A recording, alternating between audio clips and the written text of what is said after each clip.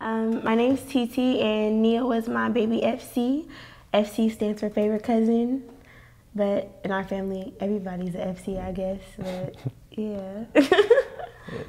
And my name is Young Lee. Same. Nia is my favorite cousin, little cousin.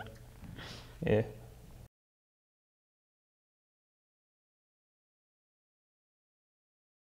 Last time I talked to her was on Saturday. I think I talked to her on Sunday. I talked to Nia like pretty much like every day. Like not even about music half of the time. Like this is like just see what like she was doing type stuff or she see what I was doing. Like yeah, talk to her like pretty much every day.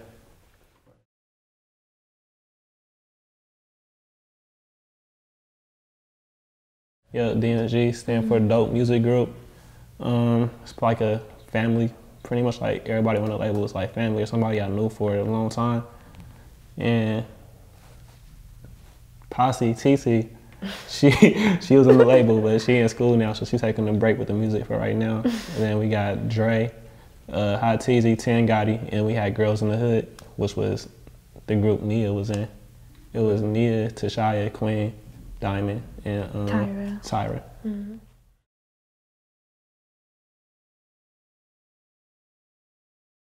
Posse was already started, and um, Nia and Tashaya, they're my cousins, and um, they will always be around us. And so one day, this girl was like trying to get at one of our other cousins, Foul. And so Nia and Tashaya was like, let's make a song, let's make a song, like, let's do that. So then they made a song, and yeah, it, it went everywhere. Like, everybody was posting it, and people wanted to fight us and everything. We had a video, and then um, that's when Lee had came up with the idea to make Girlz N The Hood like an entourage group for Posse. Like they were basically our, our, our hype girls, you know, like, you know, they, they get hyphy with us and for us. Mm-hmm. Girlz N The Hood, first of all, that was already like a like the click, I guess, because with the old Posse situation, my mom feel like she's overprotective, so she feel like Posse was getting like big to the point where they need bodyguards. and I was like, no, mom, like we could save money, we won't need no bodyguards, we don't need to pay nobody. I said, we already got enough like little cousins and everything, like anything go down, then everybody go throw hands. So that's how we came up with Girlz N The Hood. Like it was all like just our little cousins and like family and everything. And then like like she said, one day somebody came with them foul and they decided they wanted to make a song. It was uh we was at Tyson Studio, RP to Tyson, and Nia and Tashaya, they wrote the song, recorded it, and I was like, oh, y'all can really rap. Like why y'all didn't tell me y'all could rap? so that's when I decided, okay, now let's like try to take the music thing serious and try to see what we could do. Yeah, and the song blew up kind of fast. Like the first day on SoundCloud, dropped it on SoundCloud, I had like what, like like 2,000 views like within the first hour for like their first song, 2,000 views in the first hour. That was pretty dope. And then we dropped the video, and the video's up for like 10 minutes until I got a phone call from they uh, from they pops that said take it down. I said I'll take it down at first, and then yeah, then we had it on uh, what's that thing called? It's not public, but it's like you only can like watch it if I send you the link. Yeah, I had it. I had it on there, and then like people start finding it, and that's how I started like numbers started going up a little bit after that. And then I had made a public probably like two months ago because I figured like okay, it all died down. Um, like girls in the hood, we both started getting serious again with the music because we had to take a break for a little bit because like people like in school had to like finish school, graduate. I just wanted to focus on school for that, that last year. And then after the school, we'll take the music serious. I mean, we just in summer. They just finished school like a month ago. So, Girlz N The Hood, they were supposed to come and record their like debut mixtape before summer ended. And by the time school started back, they would have had like a whole project done to like see what they could have did. But they were already out of school, but they still had that high school fan base kind of sorted. And we wanted to like just keep riding that wave.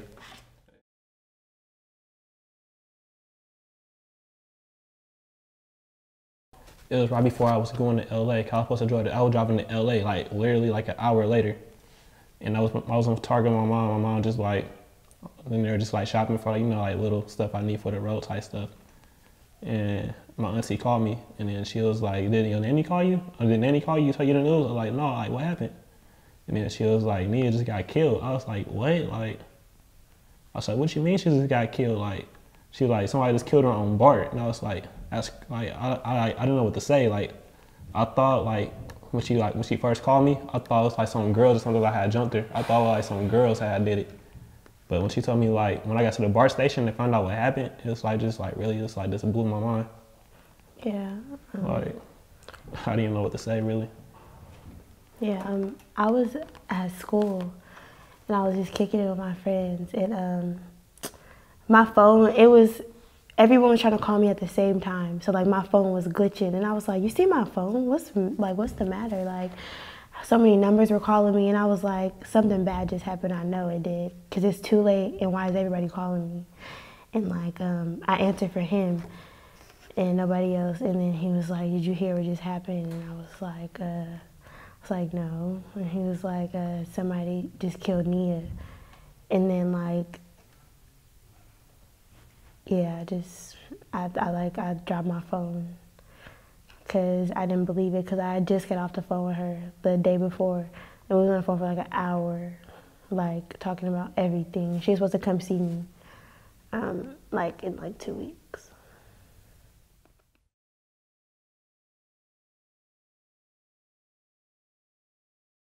I hope the justice system, like justice system, get it right because I ain't gonna lie, if he pull that mental illness stuff and get off or a low charge, it's about to get ugly out here. Like Nia told me one time too, like something happened to her. Like she was like, you know how like the police always like police shooting and stuff. Like she told me one time we were sitting in the studio, and then she was like, if something ever happens to me like that, like I don't want y'all to march. I want y'all to burn the city down. So that's what she wanted. So if they get it wrong, we go, that's what we go do for her. Yeah. Um, me, I'm just, I don't, I'm, I feel crazy. Like, you know, like that was my baby. Like, she called me for everything. So I feel like, honestly, I don't even want like the judges and shit to handle him because I know exactly, I feel like I know how it's going to come out. Like, I, I, don't know if I should be saying this right now, but I feel like he deserves what my, what my baby got. He deserves what she got. He deserves what he gave her. That's how I feel.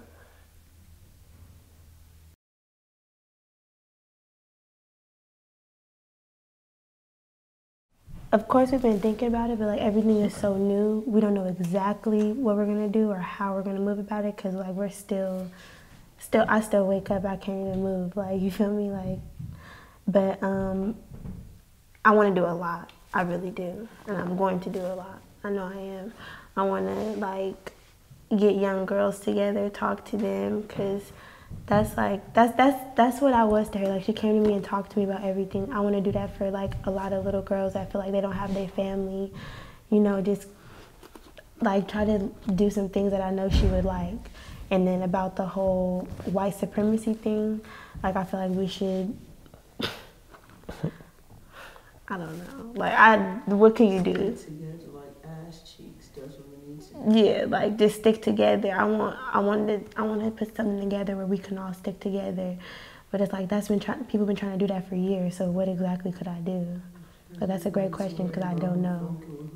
Mhm like I don't know. It's so much we could do, but what is what is it going to do? I want to I want to do something that's going to impact the whole world for a very long time, forever, so that this won't happen to no other family, and so that this won't happen to no other little girl, especially one that had a future. Like, stupid. I plan on doing like Nia. She was like real passionate about music, like real passionate. And I told her. And like, makeup. And I, I mm-hmm. told her like, okay, I, I was like in a situation where I wasn't able to record for a while, and like she'll only record with me. She didn't want to record with nobody else. So I told her, Nia, just keep writing. Like everything will be good in a minute. Like we'll be able to record again. So just keep writing, write all your songs, so, like get everything done. So I talked to Nia last week. It was time. Like it was time to get back in the studio. And then she was like, okay, LC, I got a lot of stuff wrote. I probably got like 15 songs already done, ready to record right now. And I said, all right, that's cool. Keep writing some more though, because you don't know if all those songs gonna be good. She was like, okay, I'm about to like keep on writing today. And I told her, I said, all right, we about to really get this girls in the hood stuff popping. She was like, all right, I'm ready to do this. I'm ready. I'm ready to start making this music money for real. I said, yeah, we can. Like, we get this to do it. And then um, she was telling me about her little cousin, like she wanted to add to the group.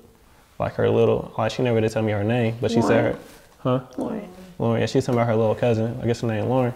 And she was like, she really, like, really raw. Like, honestly, she probably, like, better than everybody in the group already. And I was like, okay, like, send me her stuff so I can hear her. Cause I ain't about to just add her if she ain't ready. She was like, okay, she never send me her stuff though. But she was like really ready to start like pushing the music. Like she had every like songs wrote, beats already ready. Like she was like really passionate about it, and it surprised me because like even with Posse, like with them, like they usually come to the studio and like pretty much freestyle. They didn't write nothing. Like they act, some songs they like they like, like they even want to do it half of the song, but yeah, she was like different. Like she was really passionate about it.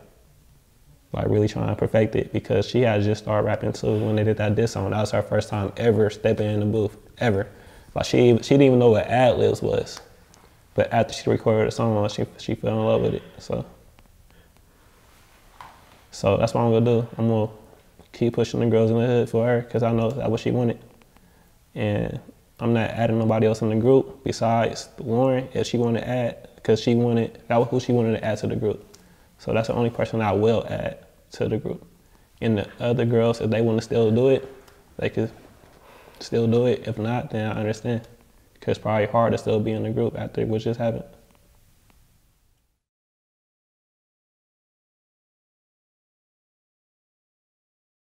Yeah, she was crazy. She wasn't scared of nothing at all. Like, like she which, was. Which is why the situation pisses me off even more because like I know if she was alert, what shit wouldn't even happen. Like, right. That's the person I'll call when somebody got me messed up because I know she about to swing. She don't care. She don't care the story. She don't care right. she happened. don't care. Like loyalty was everything to her. Like even with me, like I'm way like ten years older than you, and it's like well nine years older than you. And like even when I was having a problem with like my, my females and stuff, she was like, where's what, where's she at FC? Just send me her location. I'll go over there right now. Like, she like no, just cool. Like, just it ain't that serious. She's like, no, fuck that is it. It is that serious. What you mean? Like, nigga, just chill. like, she was always uh, like on ten, but at the same time, it was like all love. Like, yeah, it's just um like something I'm gonna remember is her passion. Like, she was passionate about everything she dealt with, her family, whatever it was. Like, that's why she, she's passionate about herself. She, she, took two, three hours to get ready for Take school. all day to get ready. Whatever. Like, she, she made us miss a show one time. We were doing uh, what, what show was in Tracy? It was Cali Festo. Oh, this one. Yeah, Cali Festo. Yeah. No, it wasn't that show. It, it was wasn't? no, that's the Sacramento okay. show. They had a show with Cali Festo where uh, I think it was Playa K, California Live, and then Nia was the reason why we was late. Like we got there like 20 minutes late. And play. K, he didn't, Yeah, he didn't, let, he didn't let us go on stage because he said it was too late to go on stage, and they had like a like a schedule, which I understood. I wasn't mad. I already know how it worked, like just being in music, like. But they was like they was mad because they don't really understand like the schedule of how it worked. It's like why can't we go on right now? We here now, like like no, it don't work like that. But yeah, she made us late to that show. That didn't, that didn't She made us us late. because we just we just stayed together. We got high, and that's what that was. So we didn't really care about that. It was never about like I feel like when we were making music and doing all that stuff, it was never about the audience. I don't like I don't know if this is right to say, but it was never about that. It's because really we just wanted to all be together and all have something together. That's what made it so beautiful. We just wanted to have just something. have fun with it. Like it was never like we was not mad or pressed off that shit. Yeah, we wasn't we had mad about hella it, fun like- that day. hella fun. like you don't understand. Like I had to stop the police from getting off of her. like, Right. Police, Oh my God. Like the show, this show right here in Roseville, it was her and Diamond. They called me like, "Hey, boo, come hurry up, pick us up. We about to go to jail." Like, y'all about to go to jail? What you mean? Oh, I was, I was there. no. Can I please tell Oh, yeah, yo, you got it. So we were at the mall. We were looking for clothes to wear for the, the show, and um, something. I think one of the like security guards was just following us, and Nia peeped, and she was like, "Yes, like, like, what, like what's up?" And he was like, "Nothing. I just need you to mind your business." Like he was being very rude. And, like I don't think she would even act like that if he wasn't being such an asshole. But like he started chasing us in the mall because Nia just started running. She was like, "I don't like this nigga following me." like she, she said that she was like, "I don't like this nigga following us." Like so we just started running outside, and then they had us. Um, they got us, so we just started running. They had us outside. They was like, "Call your parents or whatever guardians you have right now." Mind you, we're like 16, so yeah, they're like, they're like, "Call your parents, or whoever's out here with you guys." So we called, called Lee. And he was, she was like, "FC, I'm about to go to jail. Please come get me, like, cause they have me. I'm about to go to jail." I was like, what y'all mean? I'm about to go to I just dropped y'all off. Like, and I was so scared because like I'm the good one out the group, you know. I be trying to get ready to, to calm down. So I was so scared, like, oh my god, what I'm gonna do if I really go to jail right now? like, me and me and Diamond not gonna care, you know. They hard body, but I'm. I'm, I'm like, I want to do this, guys. Let's calm down. No, FC, fuck that. Like, no. Yeah, that's how that went down. I forgot about that. Wow. I came out here for the first time from school to visit everybody. And uh, I called her first to come pick her up because I was hella juiced to have my license. My mom was giving me her car that day. so I picked her up from the Ville.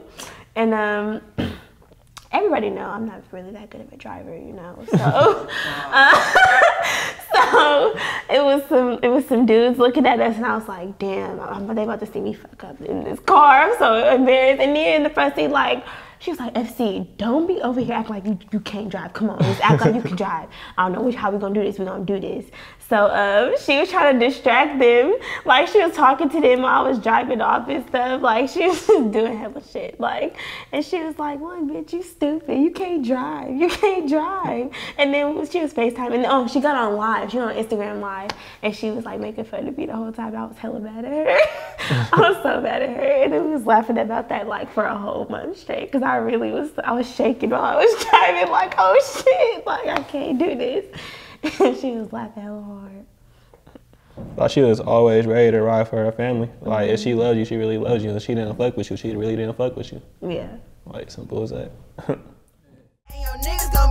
Uh, you ain't about what you be talking about. Pull up to your granny house to show you what these hands about. I ain't scared of shit, bitch. I'm taking all face. Get your ass beat down like your mama in her days. Run it, bitch.